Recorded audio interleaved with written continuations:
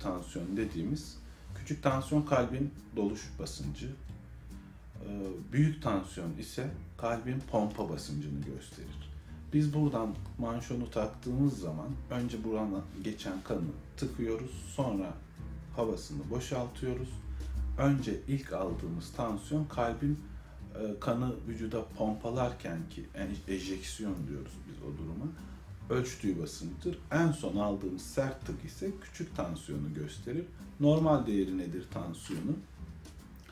Ee, çok klasik e, bilgi olarak işte 14'e 9 hipertansiyon sınırıdır. Bunun üstünde e, ısrarla seyreden inatçı tansiyonlara hipertansiyon denir. Teşhis de böyle konu. Tedavi edilmesi gereken grupta bunlardır aslında. Ee, şey çok doğru değil. Benim tansiyonum işte 9'a 6 seyrediyordu. Ben artık 11'e 7 ölçüyorum. Tam ben bende tansiyon yüksek tansiyon hastası mıyım falan demek yanlış. Bunun uluslararası değerleri var işte. Ta ki bu değerli 14'e 9'un üst küçüğü için 90, büyüğü için 140 olan değerin üstünde ve burada ısrarlı olan tansiyon tedavi edilmelidir. Tehlikeli olan aslında küçük tansiyon denir. Çünkü kalp ne kadar gerilirse o basınçta, o basınç ne kadar yüksek olursa e, tekrar gevşediğinde duvarların zayıflamasıyla alakalı olarak kalbin yıpranması ya da işte ömrünün kısalması çok uzun vadede kalp yetmezliğine sebep olacağı için denir ki işte küçük tansiyonun çok yüksek olması ve 90-95'in üzerinde ısrarla seyretmesi tehlikelidir. Bu tedavi edilmesi gerekir.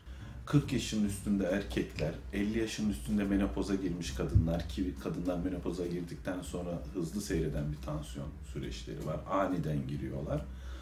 Ee, tansiyon asıl önemi önce ve erken tespit edilmesidir.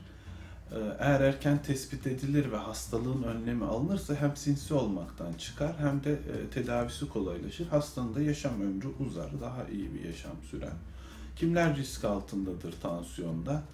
E, sigara içenler, e, çok yağlı yiyenler, aşırı tuz tüketenler, her şeyden önemlisi de genetik olarak bu hastalığa yatkın olanlar. Bunlar nerede tespit edilir? E, birinci basamak sağlık hizmetlerinde herkesin bir aile hekim var. Oraya gidilip önce ilaç başlamadan bu önlemler alınmaya çalışılır ki çoğu hasta belki bu önlemler alındıktan sonra tansiyon hastası olmaktan kurtulacaktır. Atıyorum 100 kiloluk bir kişiyi 80 kiloya düşürürseniz kiloya bağlı olan tansiyonu önlemiş olursunuz. Her şeye rağmen inatçı bir tansiyon seyrediyorsa hastada e, ilaç başlanır. E, ilaç sonuçta başlandıktan sonra tansiyonu önlemiş oluruz. Bu e, tansiyon çünkü çok e, sonuçları ağır olan bir hastalık. Halk arasında bilindiği gibi beyin kanamalarına sebep olur. Beyin damarlarının aşırı basınca bağlı patlamaları e, sebebiyle. Ee, buradan anlayacağımız şey birinci basamakta erken tespit edilen hipertansiyon vakaları e, ilerideki kötü sonuçlardan kurtulmuş olur.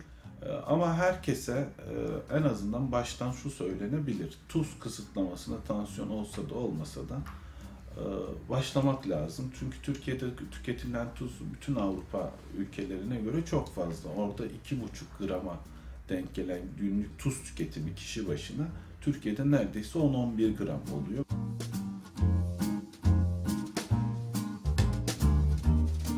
Tansiyon e, kola takılan manşonlu bir cihazla basınç vererek ölçülen bir birimdir.